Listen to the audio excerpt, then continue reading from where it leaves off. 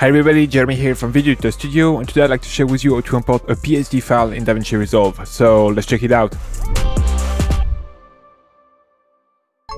Alright, so in DaVinci Resolve now we are on the Fusion page and if you want to import a PSD file you can just go over to Fusion, here import and you can just click PSD.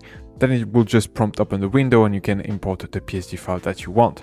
Here, as you can see, each individual layer inside of my PSD has been imported. I can then just take my media out and link the output of the last merge to that media out to bring it here in my viewer. And as you can see here, I have each individual layer and we can just modify them and make animation with them. One disclaimer is that here the background might get uh, messed up sometimes if that's a gradient or if there is a lot of shading. That's not an ideal method, but it can do the job if you really need to import work that has been done in Photoshop into DaVinci Resolve. If that's the case, what I will suggest is simply just to delete your background and to just bring a new background in.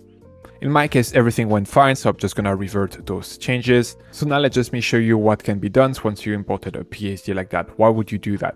Well, now you just have every layer lined up and you can easily make animation with them. So here, for example, I will just do a first animation on that cover. So I'm gonna go to frame 25, go to my merge, here drop a keyframe on the position, and then go to frame zero and drag that cover out of the frame.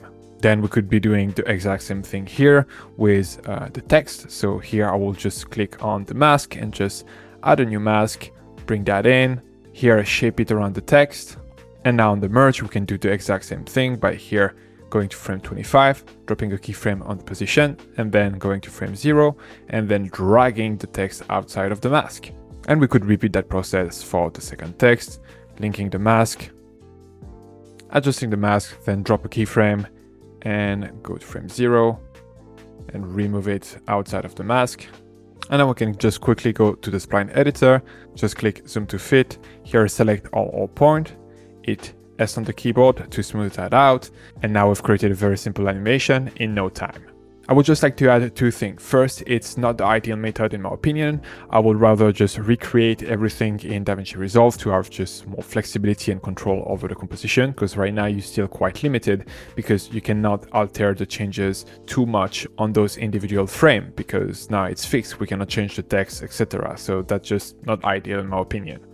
Also, instead of a PSD, I will just rather use a SVG file, a vector file. So then for those kind of shapes, we actually can control uh, the form of the shape. We can control the color very easily, etc. So again, I would rather recreating everything from scratch in DaVinci Resolve or if you have to import something that has been done on another software, I would rather use a SVG file made on Illustrator or Affinity, for example. But if you already have a full project made in Photoshop or a client just give you a PSD file, you can still import that and just start to make some simple animation like I just showed you.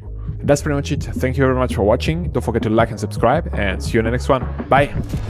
Speed up your workflow and create better videos using the pack available on our website, including titles, transition and templates, but only for DaVinci Resolve. Get started today by downloading our free starter pack containing a compilation of 20 titles curated from our library. Link in description below or at videoeditorstudio.com.